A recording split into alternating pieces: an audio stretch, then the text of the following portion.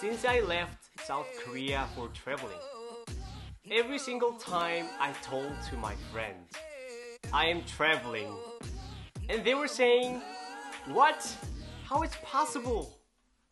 So today I'm gonna tell you how I can travel.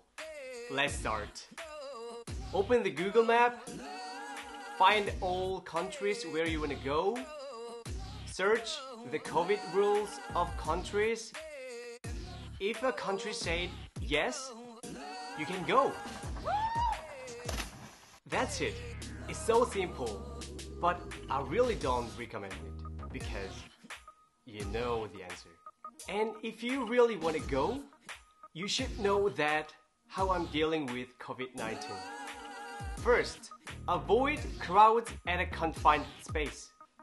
I think that's the most important thing. If you talked with someone who has a virus, it's really dangerous if you are at a confined space together. Of course, it's not okay to be in the open space with them. Second, be alone. I wanted to hike 1000 kilometers with my girlfriend and some friends. But I was hiked alone. It was good choice. Actually, I really wanted to travel with a lot of friends because it's more meaningful. Third, follow the rules of the country. If they said no meeting, then don't meet. If they said take a test, then take a test.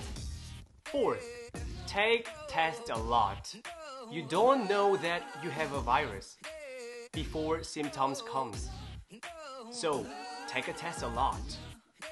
Even if you don't have any symptoms, you can get infected and spread the virus. During over 60 days traveling, I got a lot of messages from my friends. You are wrong. You have to do not travel. Or, wow, you're incredible. Please be safe. Like this. I really understand them. And I always have to be careful.